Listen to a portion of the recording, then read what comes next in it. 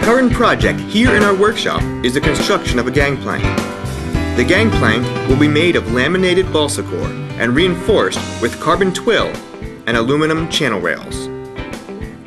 For the first part of our project, we will be working with the balsa to shape it into our gangplank. To begin with, we measure and cut the balsa.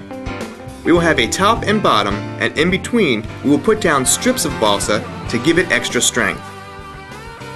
Once all the pieces are cut, then we will use Mas Epoxy's low viscosity epoxy resin with their slow hardener to glue all the pieces together.